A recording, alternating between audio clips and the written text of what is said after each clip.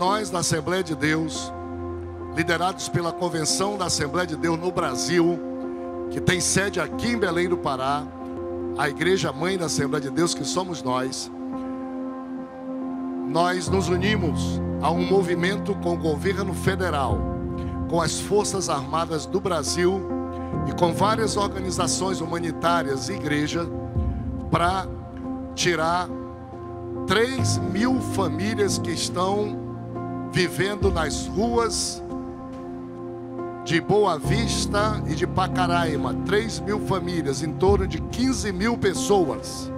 E nós nos apresentamos em julho e nós vamos começar com 106 famílias. Vocês já vão ver acontecer aqui com as primeiras famílias.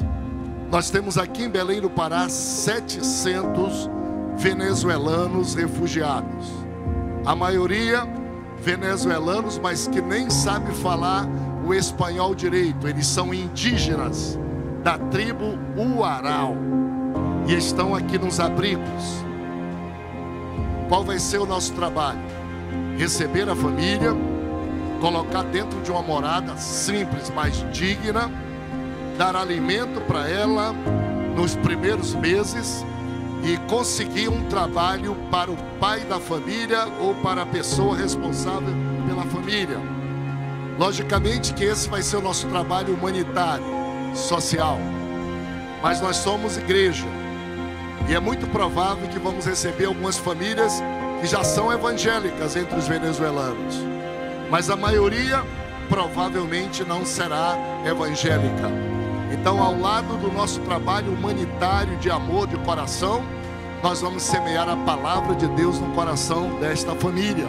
Nós vamos orar a Deus para que eles recebam a Jesus e possam servir a Deus na igreja e sejam discipulados. Que essas famílias, bem cuidadas por nós, sabendo que foi Jesus que nos moveu para fazer isso, sejam treinados.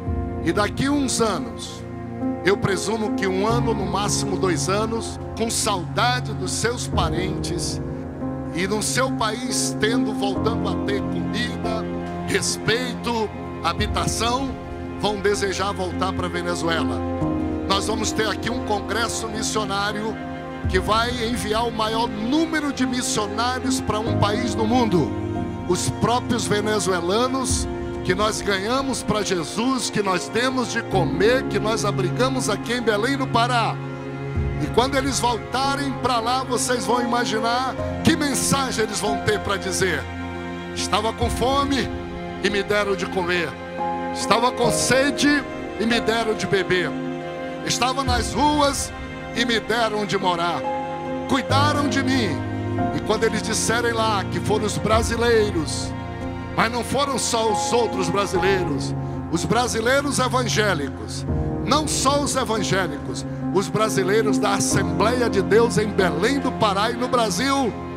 Quando eles disserem isso, os venezuelanos estarão com o coração aberto e a maior colheita missionária do, que nós já vimos vai acontecer.